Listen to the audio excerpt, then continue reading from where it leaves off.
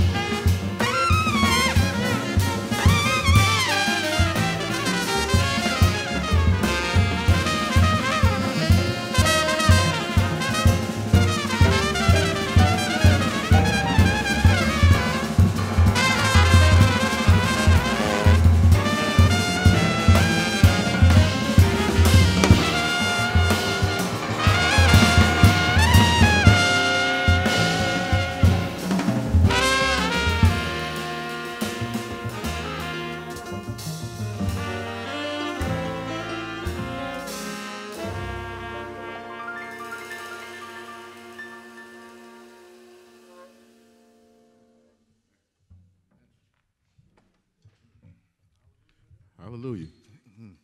so the uh, next composition we're going to do, kind of in the same vein. This one was made famous by Billie Holiday, and um, it's entitled "God Bless the Child." However, this is another version uh, in which we kind of changed it around. So um, hope you enjoy it, and uh, hope you're having as much of a good time as we are right now.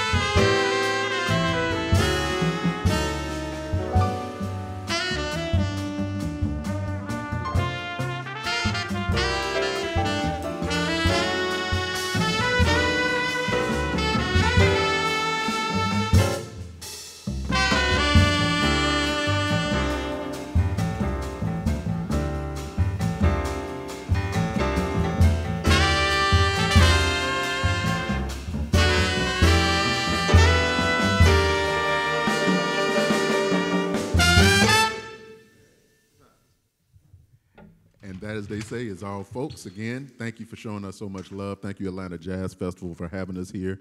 Again, show some appreciation. Mr. Kevin Bales on piano. Crowd goes wild. Billy Thornton on bass. Larry Wilson on drums, and Mace Hibbert on saxophone. My name is Melvin Jones. Listen to the Melvin Jones Quintet. Hope you've enjoyed yourselves this evening, and uh, hope to see a lot more of this in the future. Have a good one.